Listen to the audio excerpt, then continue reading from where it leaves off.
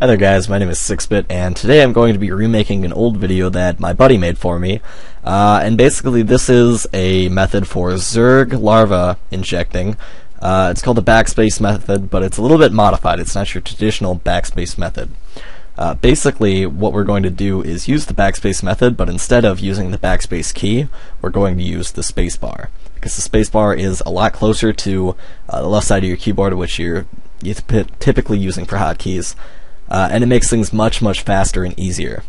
So first things first, we're going to have to show you how to do your hotkeys. Uh, so we go to hotkeys here. You're going to want to go to Zerg. Uh, global, actually. Sorry. Now, I believe it's here in camera. Alright. Now, under camera, you have base camera. Now, mine is already set to space. Yours is probably set to backspace. Uh, but basically, what you're going to do, press desired key, press space.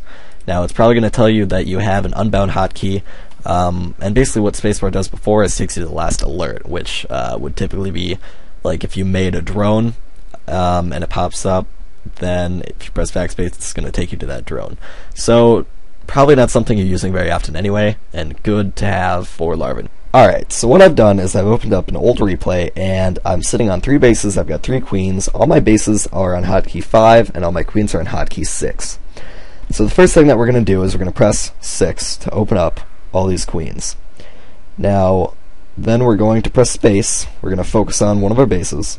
We're going to press Shift V, which is V is the hotkey to inject larva. We're going to click in the center of our screen.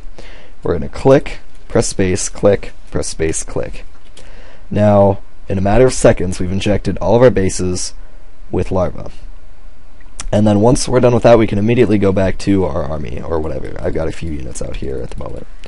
So we can send these, do whatever, and then when we're ready to look at our bases again, we can just flick, flick, click with the spacebar, check them all out. Now, you can do this a whole lot faster than I just showed you. I was demonstrating slowly. Uh, when these get done injecting, I will show you exactly how fast you can do it, and then you can get right back to doing whatever you're doing with your armies. So, again, go to 6, Shift V, middle of the screen, space click, space click, space click. And I actually, I actually cycle through the bases a few extra times just because I'm pressing the spacebar so fast, but it's not a problem. Um, you're only going to inject once, and your queens will stay where they are. But anyway, we're all injected again, and now we'll have plenty of larvae to make more units.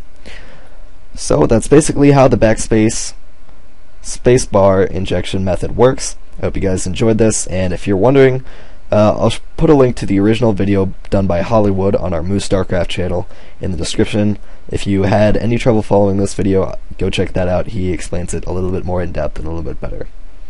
Alright, thanks guys for watching, and as always, take it easy.